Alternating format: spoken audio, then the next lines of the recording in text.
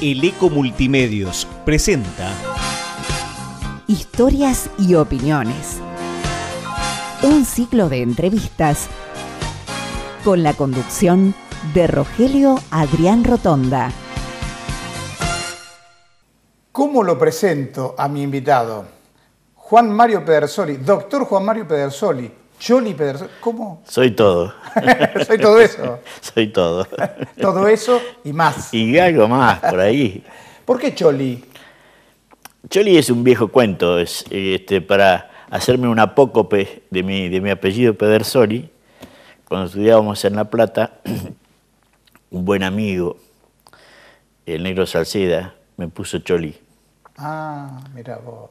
Y eh, pasaron, yo de La Plata me vine en el año 70 y 70 me vine, en el 70. Así que imagínate lo que ha pasado y todo el mundo me conoce por... Claro, pero también, más allá de los que pasaron, antes de los 20 no te decían. ¿Cómo te decían? No, negrito. Negrito. Claro. Eh, me dijiste, vamos a hablar de todo, te puedo preguntar. de Banana todo. me decían también. ¿Banana? Sí. Ah, Eran esos sobrenombres que se ponían Ajá. en los pueblos, en los barrios. Y eh, en esta libertad que me das y con el, el permiso este, que Todo. descuento, eh, ¿alguna vez la altura fue un problema para vos? Mm, y sí, si me gustaba alguna chica alta, ¿qué hacía? Pero salvo por eso- No, no, no, para nada, no, para nada. Al contrario, yo me superaba permanentemente en ese sentido, porque por supuesto uno eh, tiene una altura, este, que yo tengo la altura de mamá, no, no, no, no, tampoco somos altos los, la familia nuestra, salvo mis, algún, un hermano mío. Así que para mí era una cosa como, aparte era, era tan simpático que me querían igual. Por supuesto. Está bien. Eh, te pregunto, ¿quiénes fueron los políticos que más hicieron por Tandil? Mirá, si yo tengo que decirte, si no, no me he, hecho, no, no me he puesto a hacer un, un- un balance total, ¿no es cierto? Pero, por ejemplo, te puedo decir, las cloacas las trajo Marzorati y le ayudó Pugliese, que era, creo que era diputado provincial, le ayudó para hacer el trámite. Acá no se sabía nada, vos viste cómo es esa historia. Fíjate que ahí había convivencia. Pugliese era uno de los radicales más ácidos, ácido no, pero más importantes de, Tandil, y Marzolati era el intendente. Otros que hicieron cosas por Tandil, que no era político, era, era y no era, que era Osvaldo Sarini, a quien recuerdo con mucho cariño. Sanatelli fue un hombre que hizo muchas cosas por Tandil. Mucho empeño, muchas ganas de hacer cosas, muchas ganas de hacer cosas. Y después algunos otros que han podido traer algunas cosas, que yo. Yo me considero entre ellos, no porque sea muy importante. pero está bien. Yo no, no porque sea muy importante, pero yo todo lo que prometí traer para Tandil lo trajimos. Que yo, los juzgados, los famosos autos de la policía, que no había un solo, no había un solo patrullero, era un desastre. Trajimos trajimos 150 mil dólares para el laboratorio de- del Hospital Santa Marina. Eh, trajimos este, para organizar un campeonato internacional de voleibol en el, en el muchas cosas en el, en el, el Club Unión y Progreso, muchas cosas trajimos. La verdad que yo justifico, la única manera que justifico la representación de un hombre de Tandil en la política, en esferas provinciales o nacionales, si se dedica a hacer lo que tiene que hacer y además pelear para traer cosas para su pueblo. Si no, se Yo pensé que eh, en esto y en la memoria más fresca también lo ibas a nombrar a Diego Bocio. Bueno, Bocio yo se lo dije personalmente. Recién empezaba como pichón. Y un día quería hablar conmigo, yo charlé con él un rato, un rato largo charlamos. Yo le dije, mirá, lo único que te vas a llevar de recuerdo es lo que están haciendo con el tema de las casas. Yo te felicito, porque no hay muchos que traen cosas para Tandil. Y vos sos uno de ellos y, Tandil te va a agradecer. Esto se lo dije personalmente. No es que me olvidé, sino que lo iba a dejar para más adelante porque todavía él, este, eso no se ha terminado y eso todavía falta, pero el esfuerzo ha sido grande. No obstante lo cual yo en algún momento, eh, yo le, eco salió, yo le dije que estaba bien que Lungi aceptara las casas que traía del ANSES, pero me parecía que el ANSES tenía que dedicarse a otra cosa. Yo lo dije así, eso significó un comentario de, de ocio y a un amigo mío, mi amigo me, llamó para retarme. Ahora que, que comentás esto, se me ocurre preguntarte, ¿por la política te has peleado con amigos? Pero te has peleado, peleado, discutir seguro. No, no, no, no, no, no, no, porque yo, si tengo algo de bueno, que soy una persona inteligente, no un tonto. Yo creo que soy inteligente. Aparte tuve la suerte de pasar por la escuela pública, primaria, por la secundaria, por la universidad, por la universidad en serio, donde se aprendía a convivir. Y yo sé convivir. Y además yo supe lo que significó esa, esa eh, división tremenda que hubo en Argentina después del 50, en el 51, cuando, estábamos, cuando estaba el peronismo, y después del 55 también la sufrí en carne propia. Mi viejo, mi viejo no era un político, era un obrero sin embargo, ellos no podían cantar la marcha peronista, no podían nombrar a Perón. Decreto 41-61. Fue muy terrible ese enfrentamiento. Y nosotros, mi generación, la renovación del peronismo, entre otros, logramos eh, lo que Perón quería, que era que nos sumemos todos. Nosotros salimos a la calle cuando el golpe de Estado contra Alfonsín salimos a caminar y a, festejar la democracia. Nosotros, yo lo recibí a Alfonsín, que era el presidente del partido opositor, siendo presidente del Consejo Deliberante, con un gusto excepcional. De acuerdo. Te pregunto algo, Choli, eh, o te pregunto algo más. Sí, sí, sí. Eh, ¿Quién fue el último presidente peronista? ¿Se entiende la pregunta? Sí. Y por supuesto que no fue ni Kirchner ni Cristina. Yo creo que el último presidente peronista fue Carlos, aunque se dejó superar por, por las circunstancias y, y, no, no, no supo tomar las riendas como debió haberla tomado en su momento para que no se desviaran las cosas. Pero para mí fue Carlos Menem. ¿Y Dualde? Por supuesto, pero como Dualde fue una... los elegidos por el pueblo. Claro, como Dualde fue una cosa que se eligió desde la legislatura, por supuesto, él sigue siendo mi gran amigo, yo lo quiero mucho, y, este, y fue, fue un buen presidente. Fue un Ahora, siendo un buen presidente como eh, todos en general consideramos, este, los, peronistas, los no peronistas, eh, asumió en, en un momento durísimo y más o menos estabilizó la cosa, ¿por qué cuando fue a las urnas perdió. Vos viste, es, una, es un fenómeno extraordinario lo que significa el relato en contra, ¿viste? Es extraordinario. Era increíble que le pasara eso a Dualde. Sin embargo, a los mismos que él eligió, que puso para que sean candidatos, porque él no quería que Menem fuera presidente, que fueron los Kirchner, el Furia y la mujer. El Furia le decimos nosotros a, a Néstor Kirchner este, eh, ellos mismos lo, permanentemente lo, estuvieron criticando, criticando, criticando. Tan es así que, para no dejarlo totalmente aislado, le, dieron, creo que fue una representación en el Mercosur. Y después llegaron a decir cosas que era el padrino, que era... Y en ese momento, ese relato entraba en la gente, hoy no va a entrar, pero ese relato en ese momento entraba. Fue tremendo. Sí, me imagino que para él seguramente. Sí, sí. Te traigo otra vez a, Tandil. Sí. ¿Qué opinás de esto que se está viviendo en el Partido Justicialista? Ah, muy feo. Pero esto se vive hace mucho tiempo. Mira, nosotros en el, año 94, en la Convención Constituyente, nosotros pusimos que los únicos este, eh, efectores de la democracia para las elecciones, y bien, las sociedades intermedias podían ser otra cosa, pero eran los partidos políticos los que generaban representación. Si eso está considerado en la Constitución, eso significa que los partidos políticos deben ser jerarquizados fundamentalmente.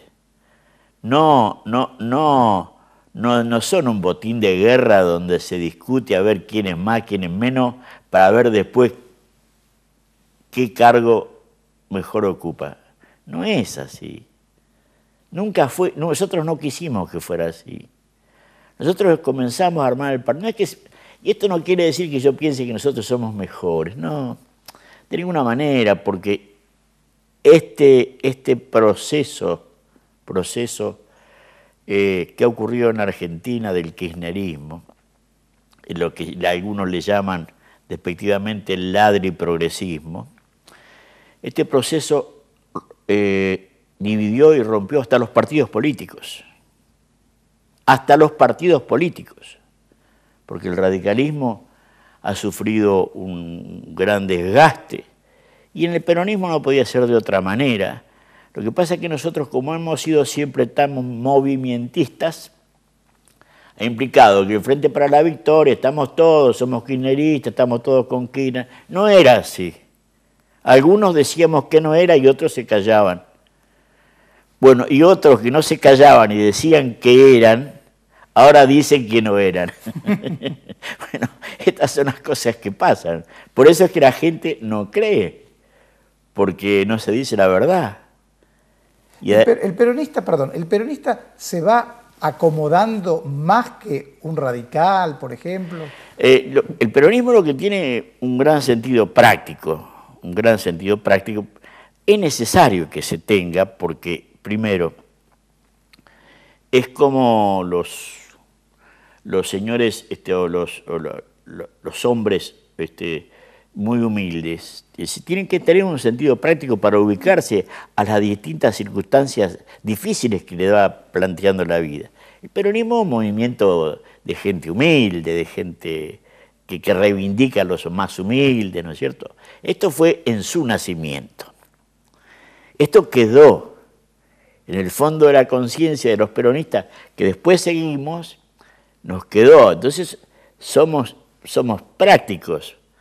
Pero esto no quiere decir que sigamos con las viejas, eh, los, viejos este, conceptos de aquellas épocas. El peronismo tiene que ser un partido político moderno, de crecimiento permanente, creer en, un mundo que está totalmente interconectado, eh, creer que la democracia es la sumatoria de ideas importantes en países importantes. No, democracia no es Chávez y su banda. Por supuesto, pero este, vos sabés, Choli, que sos de veras político, ¿eh? porque me, haces acordar a alguien que él como a los cantantes que decían, ustedes pidan que yo, cante lo que quiero. Yo, te, pregunté si los peronistas se acomodan en cada gobierno. no, no, no, no, no, Que yo estoy en contra de esto. No, no, no, hay algunos peronistas, habrá algunos, algunos muchachos que por circunstancias este, bolsillescas se acomodan, se acomodan a los gobiernos, pero otros no. Yo lo que creo además que para hacer política también hay que tener un trabajo, ¿viste? Yo también creo eso. Y lo digo con todo afecto hacia los que no lo tienen. Pero, que son la mayoría de los políticos, convengamos. Claro, claro. Porque acá el tema es que, eh, ¿viste? Empezás, empiezan algunos muchachos de. Bueno, hay muchos. Eh, y hablo, y acá hago una sumatoria de todos los partidos, ¿eh? no, no, no solamente de nosotros muchachos que empiezan, nunca han trabajado en nada, siguieron siempre en la política y más no les ha ido en la vida. A la gente bien no le fue, ¿viste? La pobreza aumentó en Argentina en los últimos 12 años. Es muy triste eso. Porque el peronismo justamente, si fuera el peronismo esto, hubiera logrado que no hubiera más pobres, porque este era nuestro objetivo, nuestra estrella polar, como, como decía Stamler, ¿no? el filósofo Stamler, como para seguir, para, para avanzar, para que nos guíe. Sin embargo, no fue así. Y hay muchos muchachos que, hay, unos cuantos muchachos que este, por, por algunos, eh, algunos pesitos este, han agachado la cabeza. Em, generalmente, o generalmente la historia marca que en nuestro país los últimos presidentes no peronistas no han tenido buenos finales. Eh, ¿Cómo ve este principio de, es verdad. de Macri? Yo lo veo bien, yo lo veo bien. Yo veo que Macri eh, ha tenido la, valentía de avanzar con cosas que no son demasiado populares. Por ejemplo, si acá algún tonto hubiera dicho patrio buitre, si hubiera seguido gritando, seguíamos en default, en el verá, seguíamos como unos estúpidos, no nos presta nadie nada. Y bueno, eso también lo podía haber hecho Macri. Sin embargo, creo que eh, el presidente de la República tomó una decisión que ya estaba hecha, creo, creo que antes, para ver de qué manera se arreglaba con estos fondos este, inmundos que son los, los fondos buitres. Pero había que pagarlos porque había una sentencia de por medio. Pero como la gente habla sin saber, entonces dice, no, teníamos que haber achicado más. Yo lo he escuchado a ese chico Kichilov decir que tenían que haber bajado más el precio. Fue al, a, Europa, al Banco Europeo, al, donde, para pagar lo que le debíamos a, los, este, al Banco Europeo, no, al otro, a la otra entidad crediticia europea, que ahora no me, no me sale el nombre, no al Fondo Monetario, sino al otro, y fue y pagó hasta los intereses punitorios todos. No creo que algo así 9 mil millones de pesos. El Furia pagó en efectivo al Fondo Monetario Internacional. Pero, pero, y después que, uno tiene que escuchar este, admoniciones de cómo se hace para manejar la plata del país. Entonces, yo creo que hizo muy bien Macri en eso. Creo que ha hecho otras cosas bien. Tener una apertura hacia el mundo. Nosotros no podemos. Este, este país lleno de inmigrantes, hijos de inmigrantes, que somos de los barcos realmente, nuestros padres fueron de los barcos. No puede ser que nos hubiéramos encerrado. No hemos peleado hasta con los uruguayos. Claro, cierto. Es una cosa tremenda. Entonces nosotros eh, creo que tiene que ser un país que se abra, que se abra hacia todos los países del mundo, hacia todos los hombres del mundo de buena voluntad que quieran habitar el suelo argentino, dice el preámbulo de la Constitución. Nada de eso, éramos amigos de los iraníes, que son unos... Y de los venezolanos. Y de los venezolanos. ¿Va a sobrevivir el kirchnerismo? No, yo creo que no, yo creo que ya se extinguió. ¿Y la cámpora? Y la cámpora o se adapta a ser un, una, un movimiento con otra creatividad y moderno, no con conceptos creo que yo creo que los tienen y, este, muy antiguos, o si no desaparece también. Creo que muy importante ha sido para el desarrollo de la cámpora la posibilidad del empleo público. Lo debo decir con toda sinceridad y con todo afecto a los que hay algunos muchachos de la cámpora que yo conozco, que son conocidos, otros son amigos, pero realmente que muchos muchachos se acercaban y decían, bueno, capaz que acá engancho y me consigo un laburo, ¿no? Eh, vos sos peronista y eh, ahora que estabas hablando del tema Macri, me quedé pensando, ¿qué opinas de esa parte, dice, combatiendo al capital, la marchita? Y bueno, sí, debe ser a otro capital, combatiendo la capital, será, no sé, volviendo a lo de Macri, te decía, yo creo que Macri alguna horneada le falta también, ¿eh? no te vas a creer que son todas buenas para Macri. Yo creo que yo primero no creo en esa ley de suspensión de los despidos, no creo en eso. Justo te iba a preguntar, ¿qué opinabas? No, no, no, de ninguna manera. De, doble indemnización. de ninguna manera, de ninguna manera creo en eso. Yo creo en, en, buscar la manera de que lleguen las inversiones y se consigan trabajo genuino. No trabajo en el Estado, trabajo genuino, trabajo donde haya inversión en la Argentina. Y acá, por ejemplo, hay un dato muy, muy bueno de hoy a la mañana, donde el Banco Mundial sale de garantía para eh, eh, eh, organizar energías alternativas por mil millones de dólares. Es muy importante porque eso baja muchísimo el costo, ahora van a sacar la licitación. Y eso es lindo, uno, uno ya está en la vuelta de la vida, pero quisiera ver el país creciendo y, viendo a la gente feliz, porque si el país crece, la gente va a ser feliz. Seguramente que sí. Vos estuviste en Aguas. Sí. Al final, ¿qué opinas de todo de estos tarifazos? Las tarifas. Yo estuve en la entidad que controlaba a, los franceses, que eran los concesionarios. El concesionario tiene un, ente, que era un ente tripartito, que es el que controla las obras que se comprometen por, por, este, por el contrato, como así también le fija la tarifa. Ellos la proponen y después el ente fija la tarifa. Nosotros en el año, no me acuerdo bueno, cuando recién estaba, que, asumió este, Kirchner, nosotros habíamos hecho un estudio de la tarifa, porque la tarifa significa los gastos corrientes, los gastos corrientes que tiene la empresa, más las inversiones requeridas por la concesión, que son renovación, creación de nuevas extensiones de redes, de cloaca, de agua, eh, plantas de tratamiento, todas esas cosas, en este caso del agua. Y nosotros llevamos, este, estudiamos con nuestros técnicos las tarifas e hicimos, fuimos a hablar con Debido, y Debido no quería aumentar nada, porque eran unos demagogos, unos populistas demagogos. Eso le permitía afanar más fácil, porque de esa manera no aumentaban las tarifas, la gente compraba eh, aires acondicionados sin ningún problema, y ellos afanaban y nadie decía nada. O, por ejemplo, traían buques de, buques de gas, eh, que hay alguno que falta todavía, con la complicidad de algún colega este, abogado. Así que eh, yo creo que las tarifas es, es difícil, este aumento que ha habido, es difícil. Pero hace 12 años que no se aumentan las tarifas y realmente no puede seguir el Estado subsidiando y sobre todo que el mayor subsidio se da en los sectores medios y, altos de la sociedad.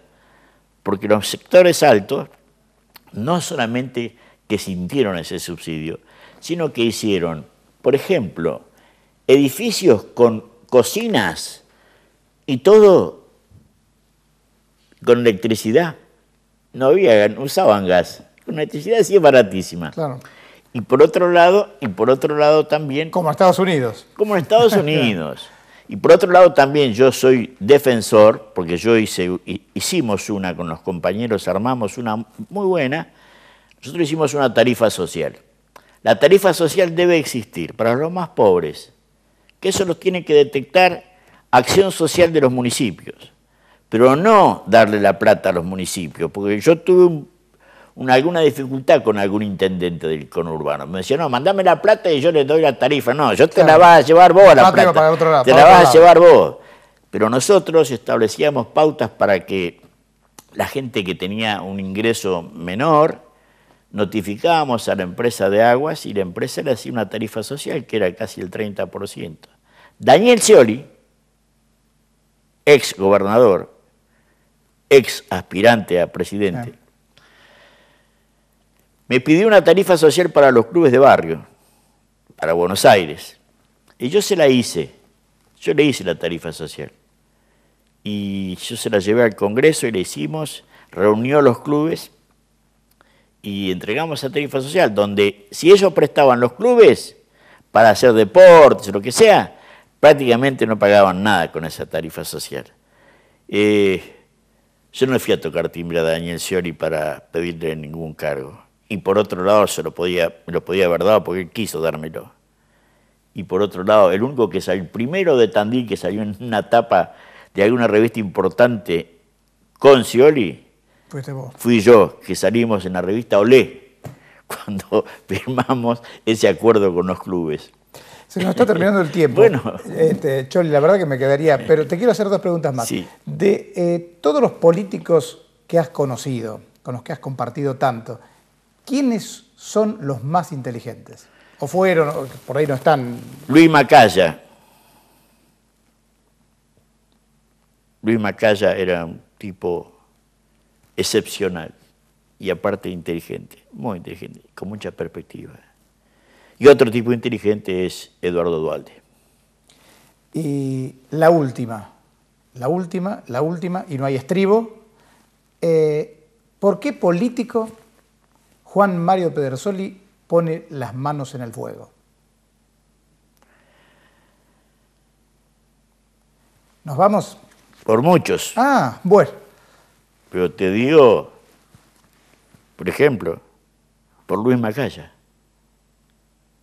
quien me mandaba a mí a vender alguna jaula de su campo para pagar la campaña. Y alguna vez le robaron las vacas de, las mangas, por Luis Macaya.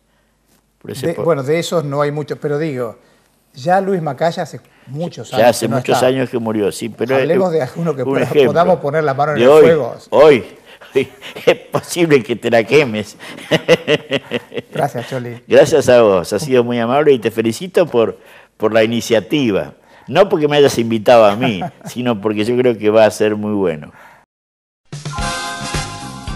El Eco Multimedios presentó Historias y opiniones un ciclo de entrevistas con la conducción de Rogelio Adrián Rotonda.